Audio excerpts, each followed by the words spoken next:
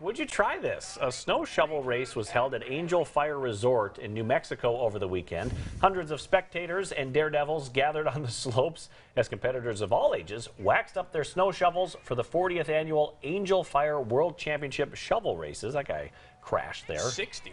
The annual challenge is fairly simple. Competitors sit on the scoop of a standard aluminum snow shovel and then lift their hands and feet to allow gravity to take them for a ride. Top speeds regularly get above 60 miles per hour. You know, I think that I would be a spectator at this. I don't know if I would try this. This looks painful. I think what you are have, these to, people doing? you have to be on. careful being a spectator too if they go off course. Shovel goes doing flying. 60. Yeah, you can't really steer it very well. No, and then the shovel might go flying into the crowd. That's what it looked Right? like on there, yeah. It's like Clark uh, Griswold, right? When he goes uh, sledding. Right. He shines up the bottom Shines of it up the and- sled and Takes off.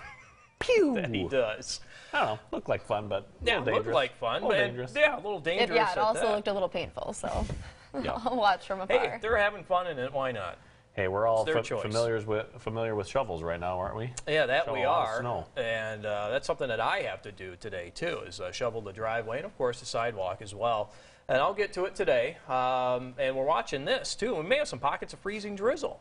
How about good. that? Wonderful. Oh, good. Yeah, this is our Platte Sky Cam. You see maybe the the, the lens there, the housing of the sky cam maybe uh, showing a little bit of ice on it, Brian. So, you know, we really can't rule that out, uh, seeing some freezing drizzle or freezing fog across the areas. Many areas are reporting fog this morning. Yeah,